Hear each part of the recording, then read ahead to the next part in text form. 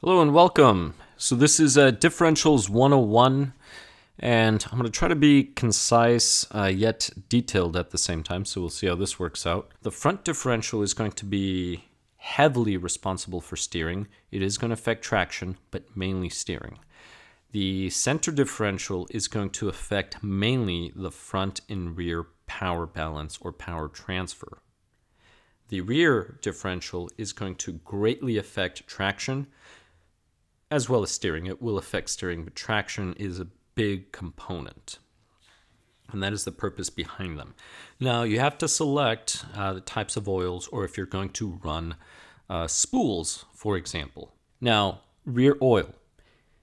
Say the rear differential, you have thin oil. Now, this is going to affect rear wheel drive vehicles as well as uh, front wheel drive vehicles. Now, rear wheel drive vehicles are a challenge, and I'm going to speak about them a little later. If we focus on, uh, say, the basics, So you have your vehicle, again, you're turning, right? Uh, the front tires are following this pattern. Uh, the rear tires are going to be following a similar pattern. So these lines should actually be over here. This should actually be over here. And just to make it a little easier because we're actually focusing on the rear, not the front, let me go ahead and move them. Uh, so this is the, the circle these rear tires are going to be following. Again, there's a difference. There's going to be a difference in speed because in order to complete the, if, if you consider, let's say the turn, you're turning up to here. If you were to measure from here to where the tire is and then here to where the tire is, right, the car would be pointing this direction, right? The, the vector here would always be tangent uh, there's a longer distance on the outside.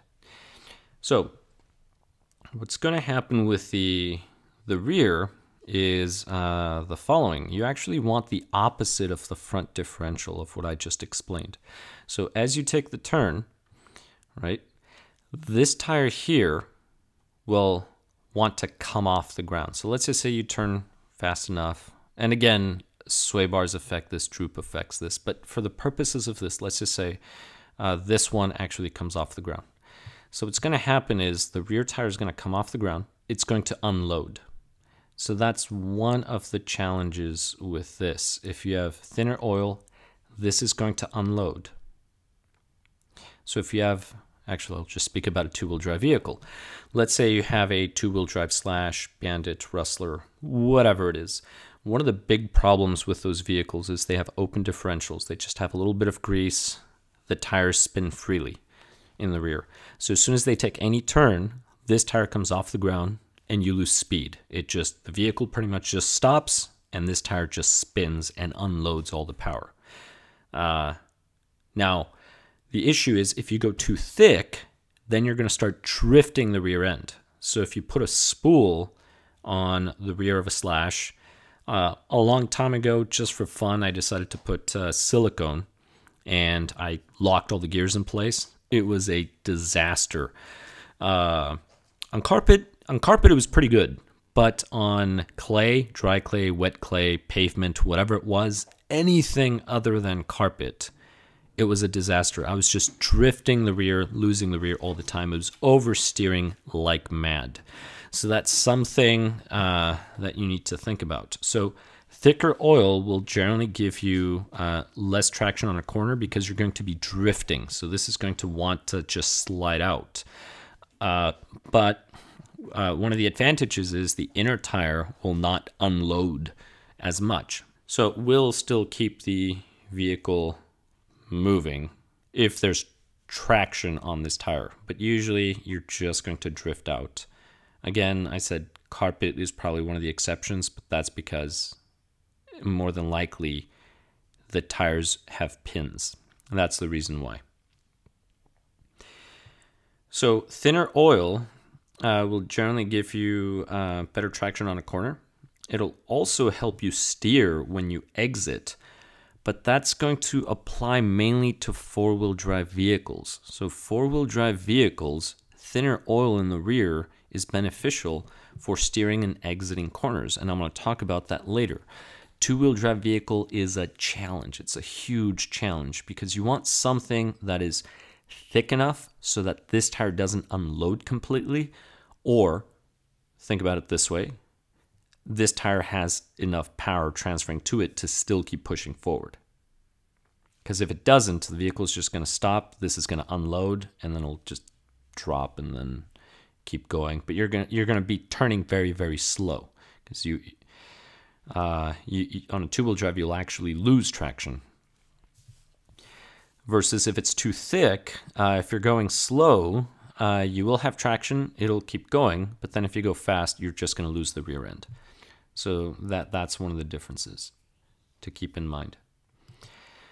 Now, uh, rear thick oil. Well, I already spoke about thick oil. What happens? Uh, so we're going to go ahead and uh, just summarize this. But if you go too thick oil, the reason why the rear end just wants to slide out and pass the front is because of this convergence here.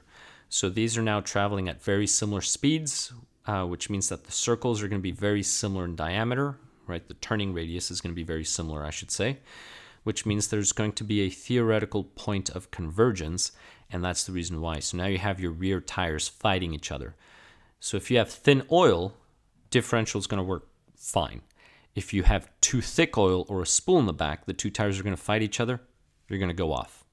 Uh, so again, you want on a four-wheel drive vehicle, thin oil, runs great. Uh, for example, Tekno SCT 410.3, 15,000 weight oil in the rear is good enough.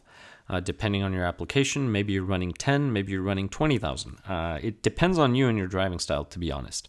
But that would be a good starting point. If you have, for example, a uh, monster truck, maybe an MT 410, the stock rear is plenty. That's good. Uh, it's the center you really have to thicken up. So rear differentials, uh, you generally get uh, more traction on a corner on a four-wheel drive vehicle. You get more steering on the exit on a uh, four-wheel drive vehicle. But on a two-wheel drive vehicle, you are going to unload. Uh, unload on a two-wheel drive. And it's going to be the, that inner tire that you're going to unload. If you have thicker or a spool, you're going to have uh, less traction on corner, so you're going to drift uh, or spin out. It's it's oversteering. You're going to oversteer, and you're going to, but you will have less unloading of the inner wheel. Uh, so again, in the rear, you really do not want to spool unless you're drifting. Um, you really do not want too thick of an oil. So um, if it's a four-wheel drive vehicle, go thin how thin depends on the vehicle and the weight. Uh, if I mean, if you're doing a touring car, you, you may be going with I don't know 200, uh, something super light.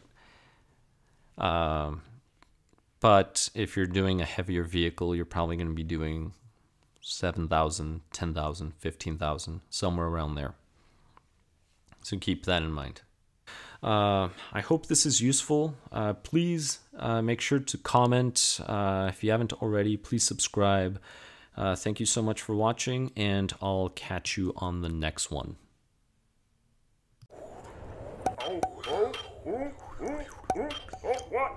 My, my hat! My car! My, my rod!